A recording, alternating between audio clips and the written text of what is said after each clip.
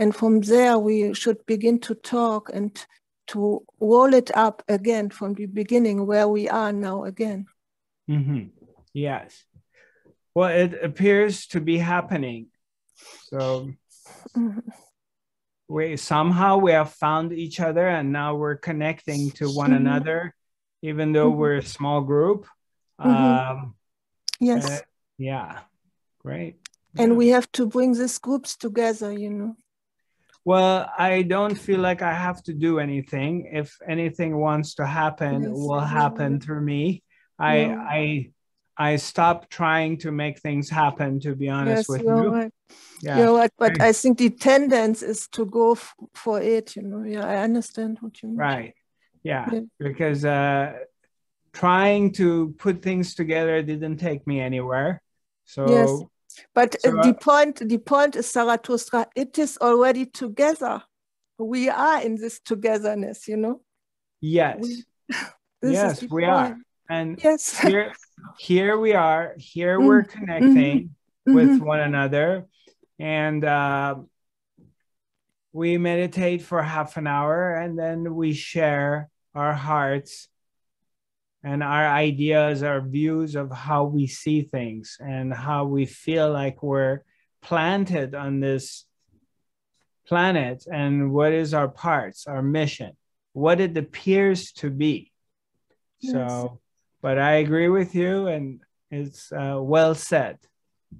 And I think what is what is also very important that when this hour now finish, when we off our computers, we hold this connection. This is our nature. We see meditation as a very exclusive thing, but it is always there. This is what is very important because this is the nourishing what we can give to one another, mm. to one another, and to the whole thing. That this will will blossom like a lotus flower, you know. Right, right. Yes. Well, it always begins with ourselves. So mm-hmm. it always starts with where I'm at with myself. And and then it just moves on from there. And we will see where this thing wants to go. Definitely, it's not in my hands, and I'm one of the particles of it. And we shall see where it wants to go. But wherever it goes, I know that is in very good hands and is exactly where it needs to be. Forget about where it goes. Again, I'm not even interested in what what where it goes. Uh, I'm interested in right now. I mean, that's the only place that I have and I live, and it is exactly where it needs to be in this moment, because this moment is perfect and I wouldn't change it with anything else. Anybody else has anything to share with us? We're are getting close to our final moments. I appreciate uh, both comments, both of you, Rachel and Andrea. Thank you for sharing uh, your heart, your thoughts uh, with with us all just just know that, that i do appreciate that.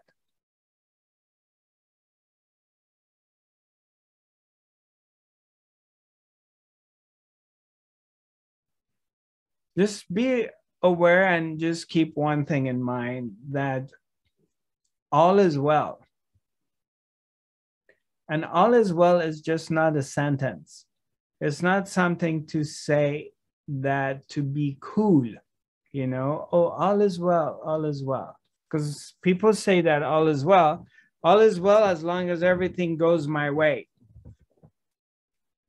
As long as things go my way all is well. Everything's fine. Wow it's amazing. It's great. No all is well specifically when things don't go my way all is well when I don't get what I want.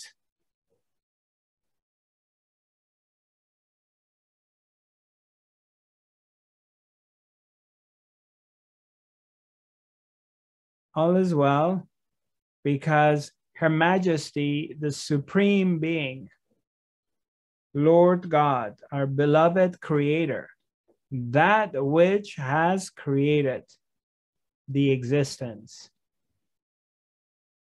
And I'm a part of that. We're all part of it. But that intelligence that runs the show, that intelligence that turns the day into night and night to day, that intelligence that turns the seasons, that summer, spring turns to summer, summer turns to autumn and winter, that is working always.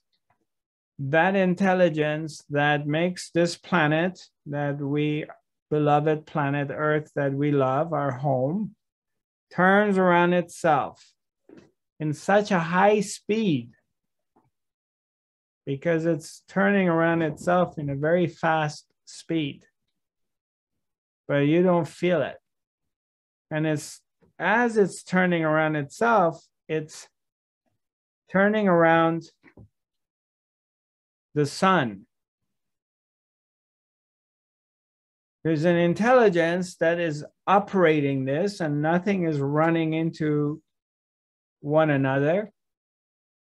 The planets one doesn't spin its way out of its path and gets lost in the cosmos.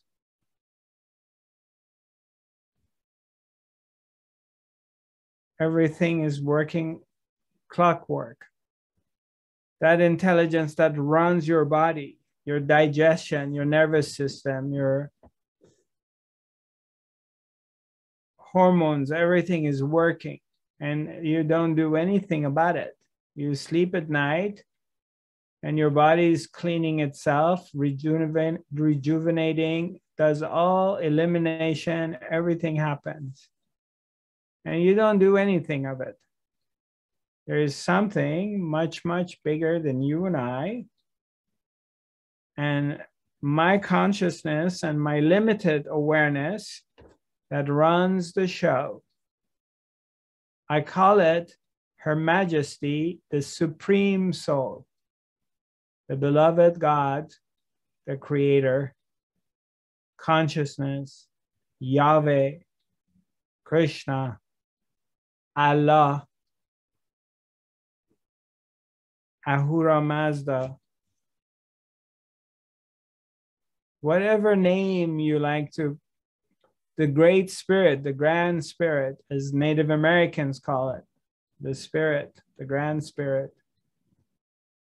That which runs the show knows what it's doing. And when I say all is well, means that I trust in that.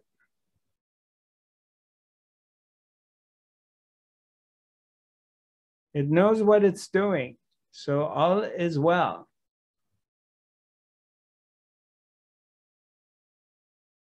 It knows what it's doing and it's taking us in the right direction.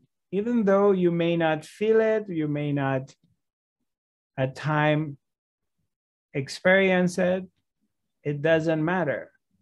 You incorporate that in your psyche, you work on it, and you start recognizing it. It doesn't matter if you are doing spiritual work or you're not doing spiritual work. You're helping raising the vibrations of the planet, or you're just into your own thing. That is doing the work. And it's, it knows what it's doing. So recognize that in your life, in existence, and trust in that. And stay in this place, stay here here is where the pearls are. Here is where the gold is. Don't go outside of here. Don't go into a fantasy of future civilization.